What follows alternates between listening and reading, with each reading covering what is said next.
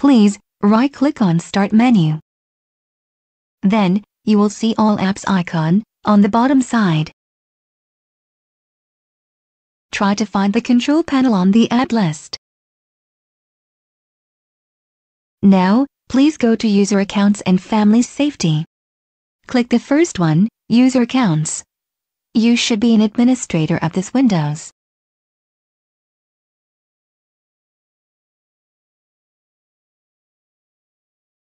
Then, click Change User Account Control Settings. Please, change the setting to Never Notify.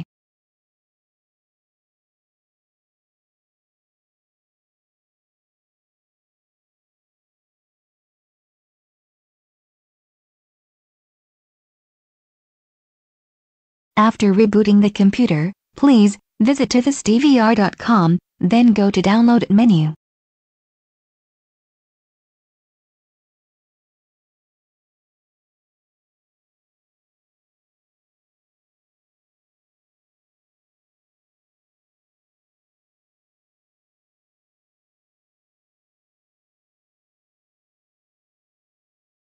Please, right-click on the page. You will find wrench icon on the bottom side. Then, you will find View on the desktop option.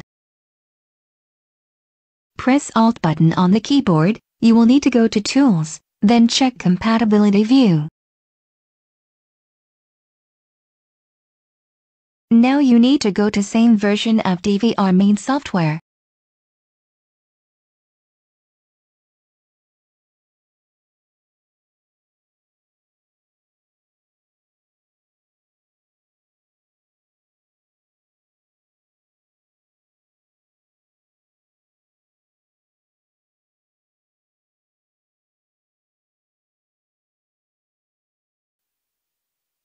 Now try to extract the zip file, and you will find Setup application.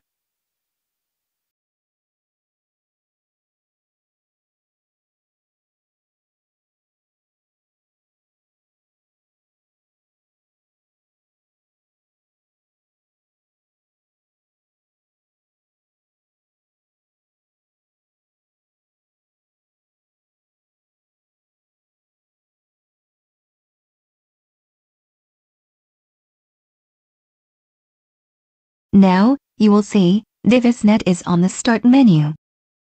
Click New button, and you will need to create ID and password.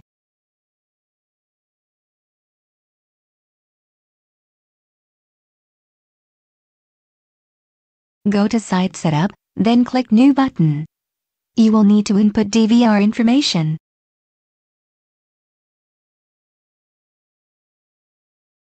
Please click Save button. Otherwise, it will not save the information.